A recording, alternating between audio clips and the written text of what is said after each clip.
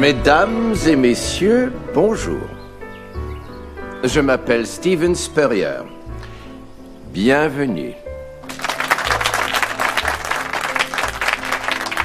J'ai conçu cette dégustation franco-américaine dans le souci de parfaire mon éducation et celle d'autres participants au sein du nouveau forum sur la viniculture aux États-Unis.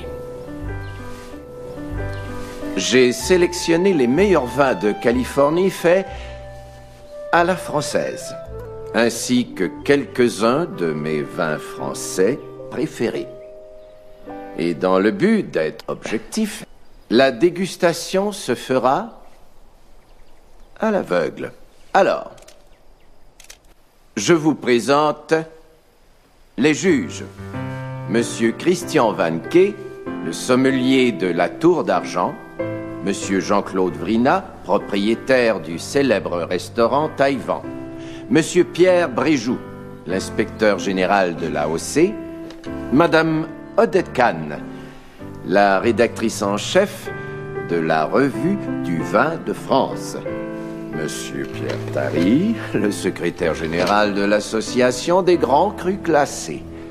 Monsieur Raymond Oliver, propriétaire et chef au Grand Véfour.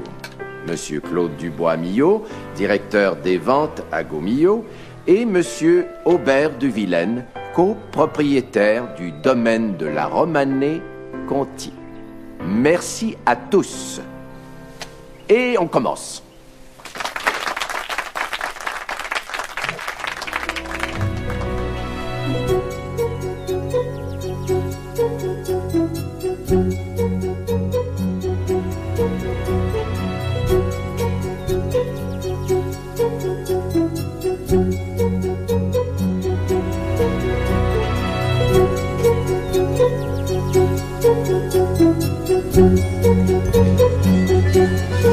On aimerait bien les résultats.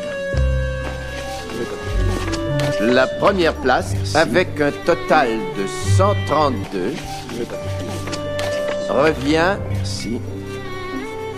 au château Montelena de Napa Valley, en Californie.